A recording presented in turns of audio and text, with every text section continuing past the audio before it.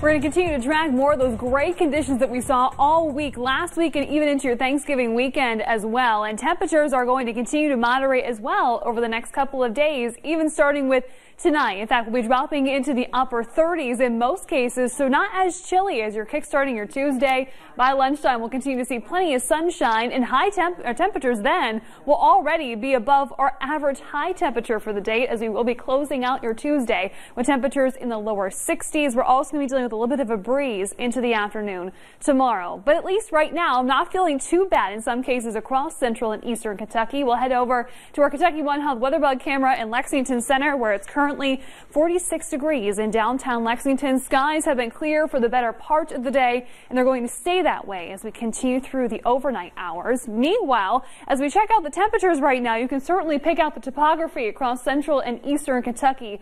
Ridges are warmer, valleys are colder. Right now we're seeing the 30s across southern Kentucky, including Danville. We're currently at 37, much of the same into London. It is currently freezing in Monticello. Meanwhile, we're seeing the lower 40s for Mount Sterling, also for Frankfort, closer to 50 degrees tonight. For Morehead, even 50 on the dot in Jackson and Richmond this hour. Our Max Track Lab Doppler, of course, has also enjoyed a little bit of a Thanksgiving vacation. Still not tracking any showers there. And even as we expand the view, we're not seeing too many clouds right now, even spilling over into Kentucky. Any activity will be high in the sky and also across the northern portions of the viewing area. Meanwhile, the eastern third of the U.S. is quiet. Things are starting to settle down across the west coast. Meanwhile, a cold front is now tracking through the middle parts of the country, bringing some showers and even mountain snow to the Rockies.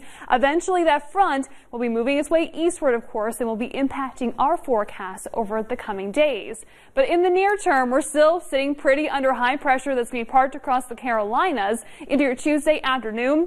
That's going to be pulling in a southerly breeze, keeping skies on the sunny side and also then talking about warmer temperatures as well. That cold front that I was telling you about is looming. It's going to be tracking closer to the Midwest by late day tomorrow. Then it stretches out north of the Ohio River to start the day on Wednesday. It's going to try and sink itself southward, not bring any precipitation, but instead just some added cloud cover during the second half of Wednesday. Then a wave of low pressure will ride by. Another cold front that's attached to that low will begin to sneak in towards Thursday. That's when we'll finally begin to see rain for the first time in almost two weeks by that point, starting to track in across the area. It is not going to be a washout, more or less just dealing with some scattered light rain showers before we hit the end of the work week. In the meantime, we're going to be tracking a lot of sunshine and also seasonably warm temperatures. Tomorrow, in fact, will be the warmest day of the week and also your eight day forecast with highs in the lower 60s. Not a record, but we will be running anywhere from 10 to even pushing 15 degrees above normal. That's when the warming trend peaks. We will slowly begin to pull things back down closer to normal by Friday, but still, we aren't expecting any big surges of cold air moving in anytime soon. Temperatures look to stay mild even through the upcoming weekend. But tonight, we are going to be getting a little bit on the chilly side, dropping into the mid to upper 30s under clear skies. 63 for a high on your Tuesday. Will be sunny and breezy into the afternoon. We'll introduce a few more clouds later in the day on Wednesday with a high of 60. We're back down into the 50s Thursday with scattered rain, especially into the afternoon.